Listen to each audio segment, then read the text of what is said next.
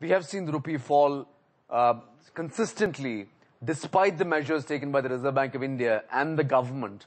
Uh, do you think the objective or rather the strategy employed by the RBI and the government, do you think it is in the right direction? Do you see this working? I think uh, it's difficult to separate out in this short period of time the impact of what one might call fundamental or trend factors and the impact of uh, what these measures were supposed to address, which is essentially the speculative pressure.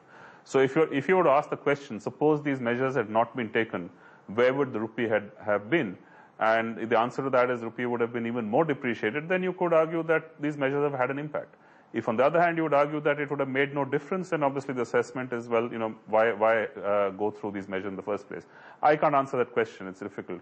But I think we've got to look at the short term and the long term context in which these, uh, in which the rupee is behaving as it is.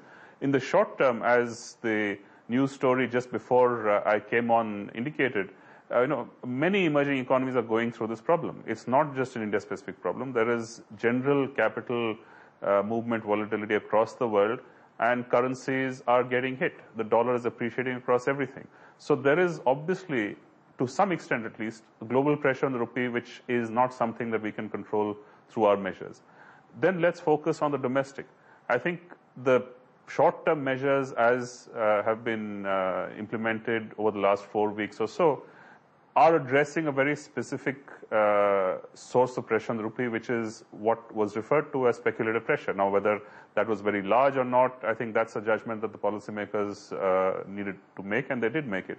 But there's also a fundamental issue, which is uh, the current account deficit, and you know we've been talking about this uh, for a long time a number of new forces on the current account over the last year or two, mm. which have taken it to such large, uh, such high levels, mm. and are putting essentially very persistent pressure on the rupee. Mm. So when we look ahead, we've got to break this up into two components. One is how do we ride out the short term?